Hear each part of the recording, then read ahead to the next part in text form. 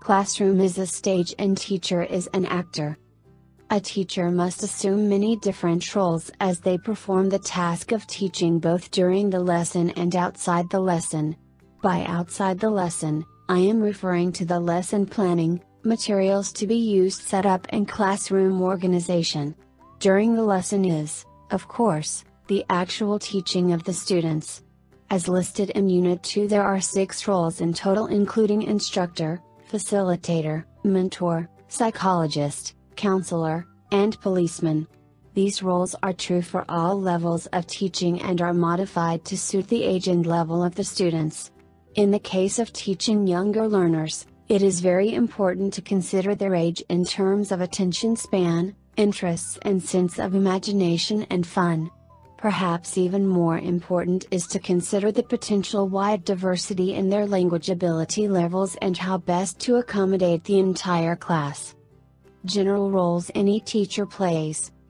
A teacher will take on their roles often without realizing they have even done so, and at times may even be performing multiple roles at the same time.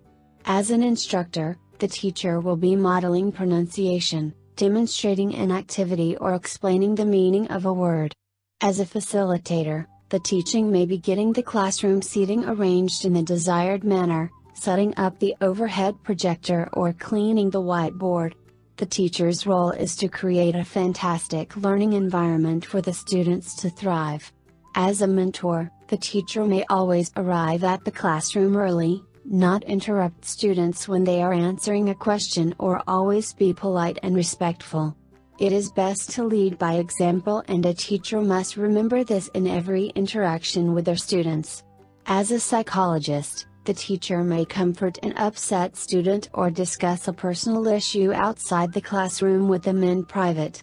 This is such an important role and one that a teacher must take seriously to ensure they are caring for the students.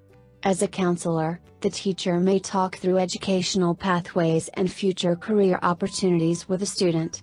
Lastly, as a policeman, the teacher will manage classroom behavior ensuring the classroom is kept in an orderly manner and sound learning environment for all the students. At times it may be better to do more of the psychologist role and less of the policeman role, depending on the actual true issue that is leading to the discipline concerns in a class. Conclusion It is clear to see that the teacher plays many vital roles both inside and outside the classroom the skill and experience or the teacher will tell them when each role is appropriate to be played and over time this will come naturally. A good teacher will always discuss concerns and challenges with more experienced teachers, to gain a greater understanding of what role works best and when. It is important for all teachers to employ self reflection regularly to drive their continuous improvement and development. This will benefit both the teacher and most importantly the students, as the teacher slowly perfects their many roles. Do you want to teach English abroad? Speak with an ITTT advisor today to put together your personal plan for teaching English abroad. Send us an email or call us toll free at 1 800 490 0531 to speak with an ITTT advisor today.